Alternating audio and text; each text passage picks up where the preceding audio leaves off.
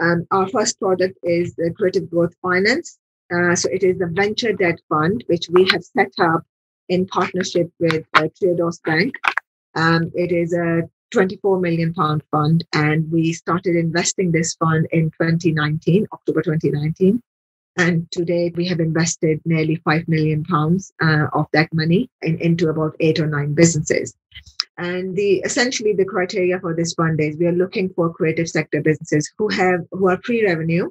So they have um, a turnover of about 300,000, minimum 300,000 pounds a year, or they are looking to hit that mark in, in the year they are in. So they have the run rate to hit 300,000 pound revenue. They've been going um, for about two years. They have a couple of years of accounts that they have produced. But essentially, we are looking for businesses who can demonstrate that they have got a real proposition that will attract and can attract uh, paying customers or paying contracts. And these businesses don't necessarily need to be in profit, but they need to demonstrate that, you know, if they get the loan, they can really grow and bring all that pipeline of uh, contracts into the mix to be able to then repay the, the loan back.